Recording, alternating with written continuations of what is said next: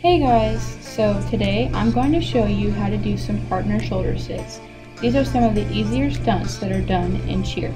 With these shoulder sits, you can either throw your flyer over your head or you can use your leg to help her get up.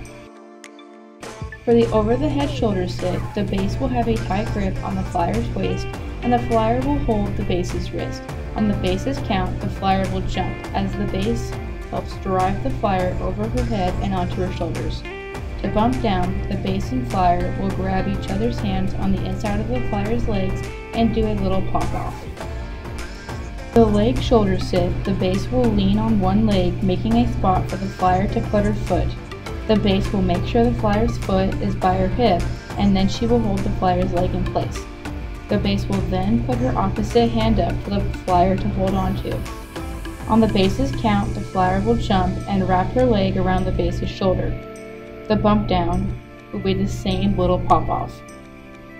Now you know some fun partner stunts, and you can go try it with your friends. Good luck.